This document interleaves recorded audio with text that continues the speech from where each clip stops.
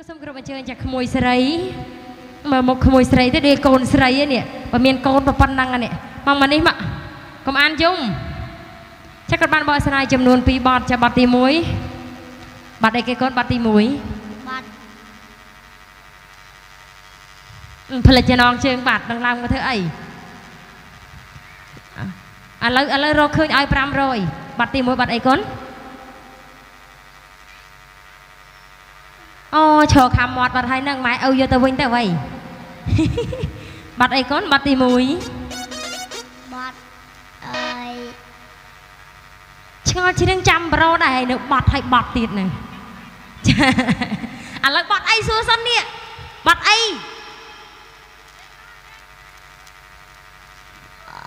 អញហើយខ្ញុំឆ្ងាល់ដល់ពេលជ្រៀងនឹងជ្រៀងអាម៉េចតែឥឡូវគ្រូភ្លេងចាសុំពីរបត់ចាំបត់ទី1ផ្លូវណាទៅផ្ទះម៉ែក្មេក កណិតនេះចង់បានប្តីទាំងប៉ុណ្ណឹងហើយបត់ទី2រំទៅហើយអ្នកភ្លេងយើងដូរកៅអៅតន់ទេបើដូរតន់ទេឡើងមករំអមជាមួយនឹងកញ្ញាតិចចាអូសុំឲ្យមានអ្នករំអមហ៎អូអ្នករំអើយខ្ញុំរំអមបានទេបងប្រហែលខ្ញុំរំបានទេតោះឥឡូវជំរាបសួរអ៊ំពូមីងសិនណាជិបសួរកាន់កាន់កូនជំរាបសួរអ៊ំពូមីងជិបសួរអំពូមីង ទឹកវាយអត់